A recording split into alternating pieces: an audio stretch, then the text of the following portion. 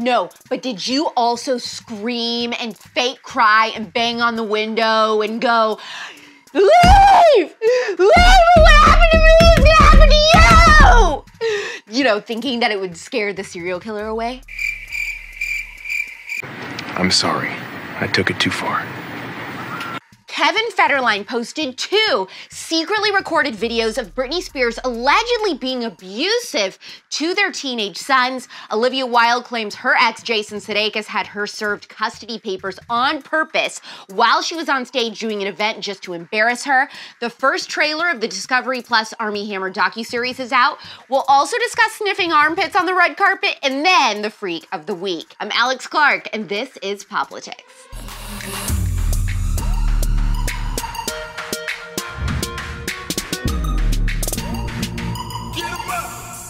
Kevin Federline finally has a job. And that job is to paint Britney as an abusive and horrible mother to their teen sons for some reason. He posted two videos of her and their sons, and now he's deleted them, probably because he knows that uh, everyone has her back on this. And he was saying, I cannot sit back and let my sons be accused in this way after what they've been through. As much as it hurts us, we decided as a family to post these videos the boys took when they were 11 and 12. This isn't even the worst of it. The lies have to stop. I hope our kids grow up to be better than this. Here's the first video.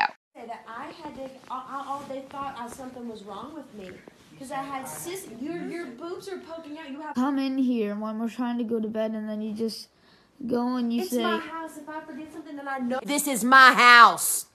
If I want to come in here and give you lotion for your face because it is coarse, and all you tell me, no, it's fine, it's fine. No, it's not fine.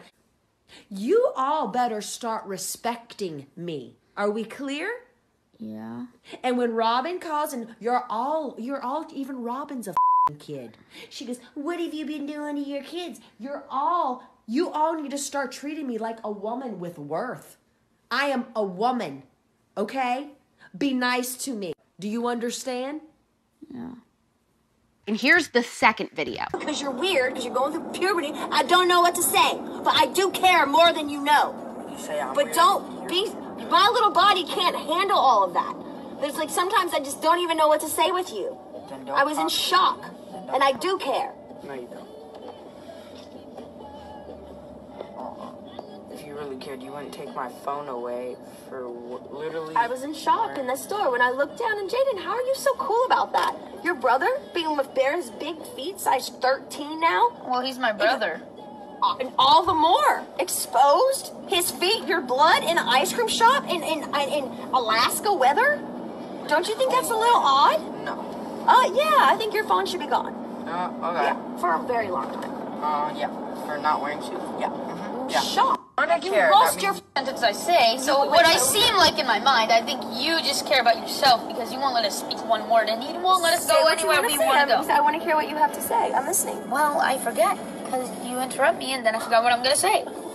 That's do how you life. want to skate is that what you're doing? No, I don't know how, and I didn't want to go to that place, and we never skate- agreed ro- to it. roller skate i mean ice skating baby is easier than roller skating Sorry, but is this supposed to paint her in a bad light? Because you know what I think? These two videos make Britney Spears sound more normal and sane than any of the crap she's posted in a long time. Yeah, that's all you can say. Can you come up with something else? Can you come up with something? Straight up, Britney's kids sound like disrespectful teenage brats. No doubt they've ended up that way because they're almost exclusively under K-Fed's watch. I'm getting just a tad tired of your attitude problem. I don't see how this is considered abusive as Kevin Federline is trying to portray it as. He's trying to prove a point that Britney is a bad mom when I see the total opposite. Britney comes across as an assertive mother who's had enough. And even though I'm not a mom yet, I can guarantee that if most other moms to teenagers were filmed during arguments in this country, they'd be a lot worse than that.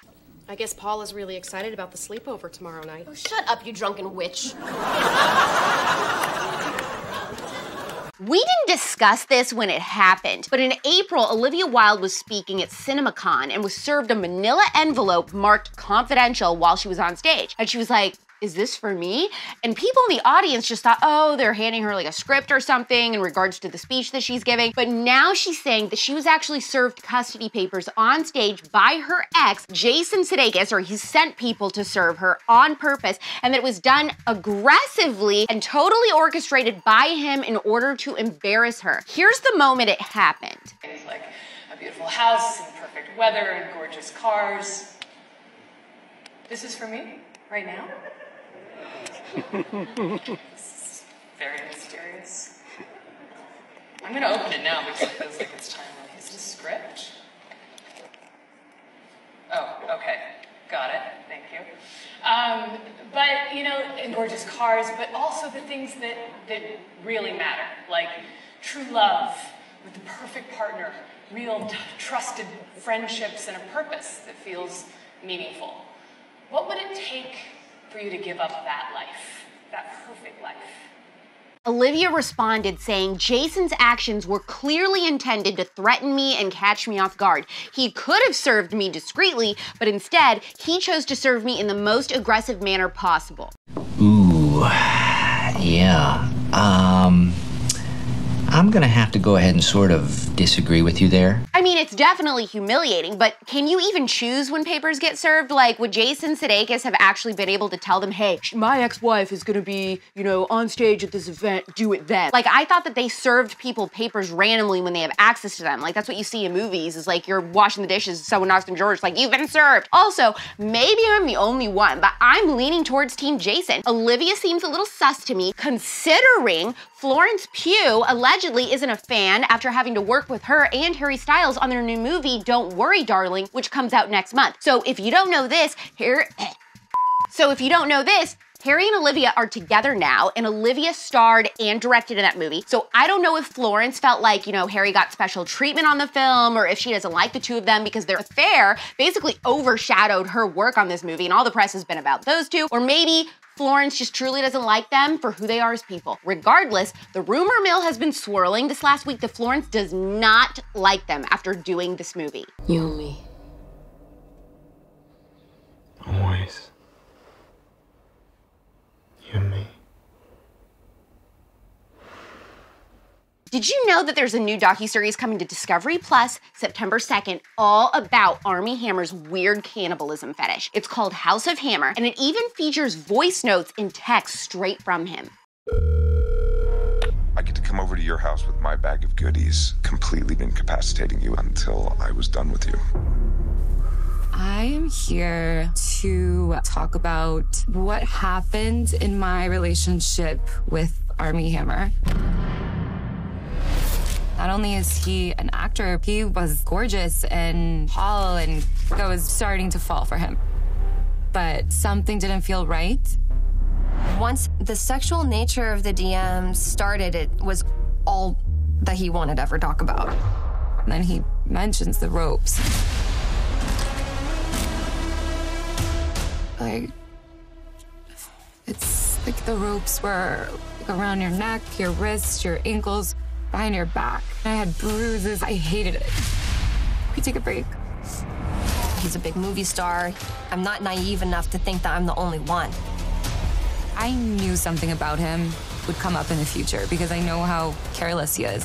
He said things like he wanted to barbecue and eat her. And then this story blew wide open. The Hammer name wielded a lot of prestige and power. But beneath it all was a dark world of deceit, betrayal, and corruption. Very wealthy, privileged men got away with different bad things throughout these generations. And it's what happened to Armie Hammer to a sick degree.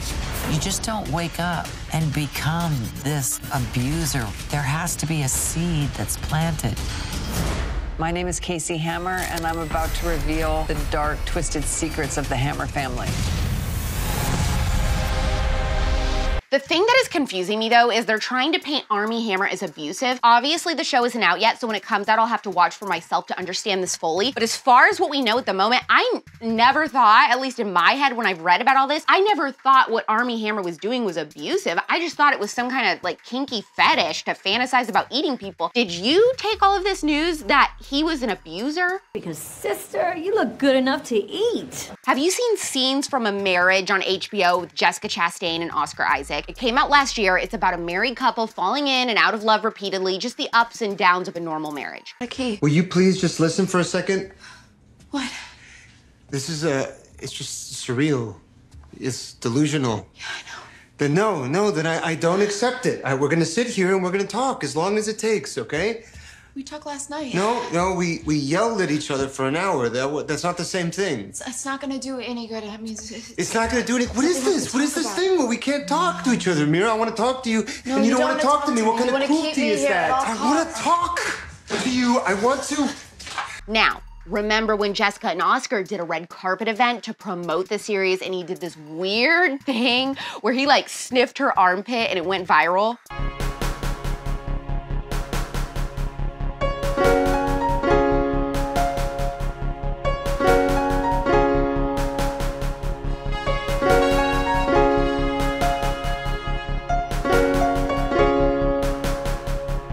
Oscar Isaac recently explained what that was all about on the Jess Cagle show on SiriusXM, and you're gonna die at this explanation. Die. He said he did it because they're worms. I swear this is what he said. The way it was an idea, I was just watching this video of this guy. It's like a TED talk about a guy that was talking about these little flat toads, you know, these little very, very flat little toads, uh, uh, sorry, worms, flat worms. And, um, you know, you can cut them into like a hundred pieces and they will grow a whole new worm out of the little piece, right? So they're basically kind of immortal. And they've been doing work at the cellular level where they're seeing that the cell cells kind of talk to each other through electricity and kind of decide, okay, you're going to make the head. All right, I'm going to make the tail. Or you why don't you do an eye? You do another eye. Like they're communicating through some sort of like uh, electro kind of magnetic situation. And and like if you interfere with these toads, those you can make them grow two heads, and they'll continue to do that. And it's not DNA. It's not at the DNA. It's just at the cellular level. That's how Jessica and I kind of talk to each other. They're like hot worms. We're just like little flat worms. That, They would love each other even if they were worms. These are the scenes from a marriage I want. Are you the witch in the woods that can help me with my relationship? That I am, that I am. what spell is it you seek from me, my dear? Perhaps a beauty potion. What? No, no, no, no. I am a solid 10. Okay. The spell that I need will test my boyfriend's love for me. Yes, yes, go on. What is it? What do you need? I need you to transform me into a worm. Oh my, is thi- another one of these? What? I will tell you who the freak of the week is, but first, have you listened to the Ask a Doctor Anything episode of The Spillover yet with Dr. Jess Petros? We discuss everything from corruption in the healthcare industry to Adderall to how to take down a fever naturally. They're all questions for a doctor submitted by conservatives, by you. Subscribe to The Spillover anywhere you get your podcast and leave a five-star review. Now, let me tell you how to get, how to get to the freak of the week. See, Ben, I can sing too. I said certified freak. Freak. Seven days a week. If you didn't catch the hint, the freak of the week is Sesame Street. Big faux energy because remember how that family sued the Sesame Place because the Rosita character allegedly purposely ignored her daughters because they're black?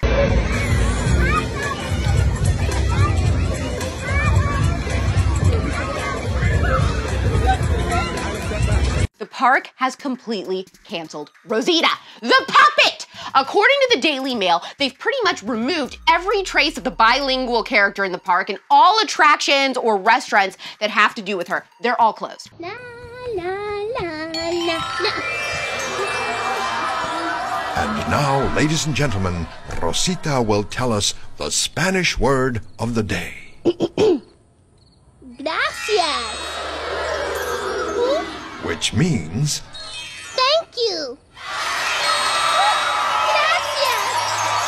Gracias. Oh, thank you. Gracias. Oh, beautiful. Oh, thank you. Gracias. So you're telling me Sesame Place deported their Latina character? Racist! Time to go.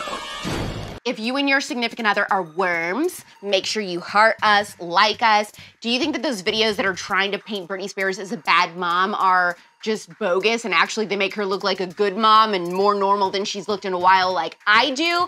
Conservative attorneys, you need to weigh in. Also, can a person choose when to serve somebody, or did Jason's timing just work out perfectly? Send this episode in a DM to your sibling who knows how everybody freaked out when somebody turned around in your driveway and then hit the save button. Also, please do that because it really helps us in the social media algorithm. For some reason, Instagram is like thirsty for that.